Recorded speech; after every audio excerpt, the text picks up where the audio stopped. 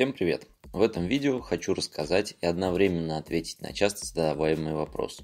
Какие масла и смазочные материалы я использую при техническом обслуживании экскаватора-погрузчика Volvo BL71B. А также покажу, какие хитрости и приемы я использую при проведении технического обслуживания.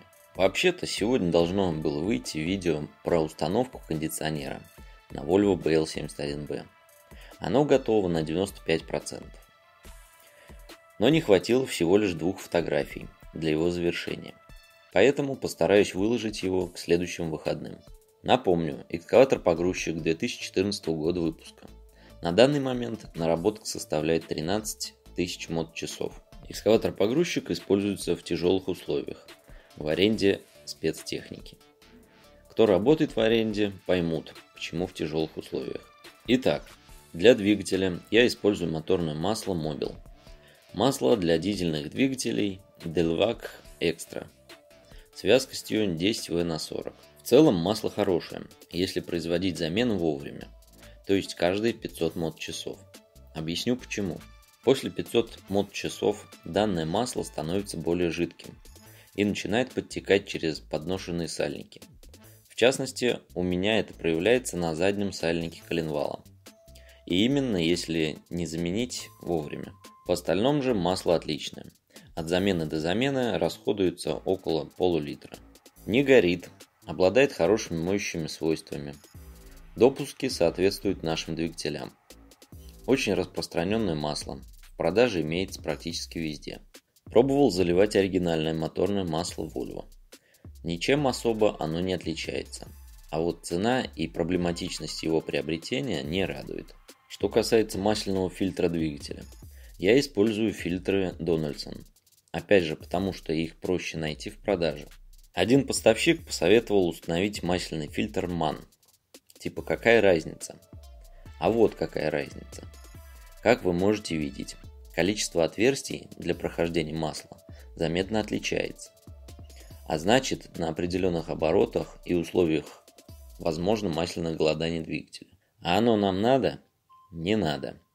Поэтому я не поставил такой фильтр. Снова установил фильтр Дональдсон. Ведь это проверенный фильтр, которому нет нареканий. Идем далее. Фильтр грубой очистки топлива. Я использую фильтр фирмы Fit с отстойником. Использую уже давно, со своей задачей справляется. Отстойник заводской. Просто переставляю каждый раз на новый фильтр. Знаю, что с отстойниками у многих имеются проблемы трещины и так далее. Объясню, откуда берутся такие проблемы. Во-первых, при установке стаканчика нужно каждый раз менять уплотнительное кольцо, даже если старое в хорошем состоянии. Резина сохнет от повышенных температур, и никуда от этого не деться. Во-вторых, при установке обязательно нужно мазнуть кольцо маслом. Тогда отстойник легко закрутится. В-третьих, при откручивании отстойника особенно когда он приклеивается к фильтру. Многие начинают по нему стучать и так далее. В результате чего попросту ломают его. Лично я откручиваю стаканчик так. Беру зубчатый ремень, не помню от чего он, но его прорези между зубцами отлично подходят для ребер стаканчика. Зажимаю фильтр в тиски, обхватываю стаканчик ремнем и отворачиваю стаканчик.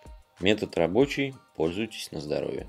Фильтр тонкой очистки я использую иногда такой, когда Дональдсона не бывает. Нареканий к данным фильтрам никогда не было в моей практике. Воздушные фильтры ставлю только Дональдсон, так как они устанавливаются плотнее, бумага на вид качественнее некоторых аналогов. Гидравлическое масло заливаю только оригинальное. Volvo Hydraulic Super 32. Хотя с оригинальными маслами постоянно проблема одна – сложность в приобретении. Это нужно заказать у официала, дождаться доставки. Но это стоит того. Однажды я пробовал заливать гидравлическое масло другого производителя, также 32-ю. Но вот гидросистема экскаватора-погрузчика на нем работала совершенно по-другому. Чувствовались какие-то рывки. И знаменитая волювская плавность в работе гидравлики отсутствовало. Поэтому больше не экспериментирую и заливаю оригинальное. Гидравлические фильтра Э, ставлю в основном Дональдсон. Хотя раньше пробовал ставить другие. На каком-то фильтре даже разорвало корпус. Трансмиссионное масло заливаю только оригинальное и только VB101. Хотя поставщики часто предлагают VB102. Типа это более современное масло. Лично я однажды пробовал заливать VB102. И у меня сразу же потекли сальники передних бортовых. Кстати, на другой белке была точно такая же проблема после использования VB102. Да оно и понятно. Видно невооруженным взглядом, что оно более жидкое. Поэтому теперь только VB101 во всю трансмиссию.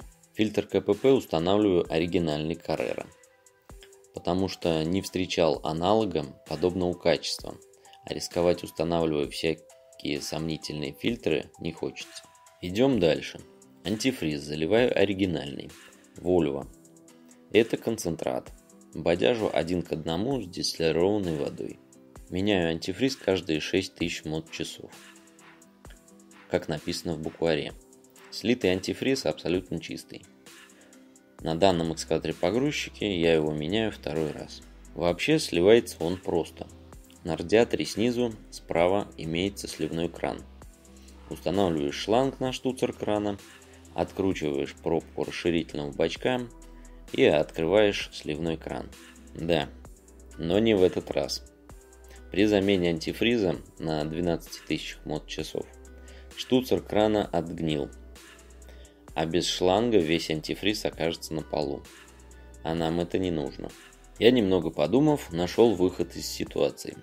Нашел старую воздушную трубку, по-моему, от Шахмана – и, намотав на нее целлофан, воткнул в отверстие крана. Конечно, антифриз сливался немного дольше, но оказался в канистре, а не на полу. Салонные фильтры устанавливают также фирмы Donaldson, так как других у нас в продаже просто нет. Меняю их каждые 1000 мод часов.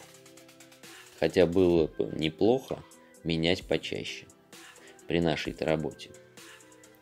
Вот так выглядят фильтры, отработавшие 1000 мод часов. И рядом новые. Есть разница, правда? Сапун на КПП не меняю. Нечему там изнашиваться. Прочищаю только. Сапун заливной горловины гидравлики меняю по степени загрязнения. Если вам понравилось видео, ставьте лайк, подписывайтесь на канал, пишите комментарии. Делитесь ссылкой с друзьями и оставайтесь с нами. Всем добра, пока.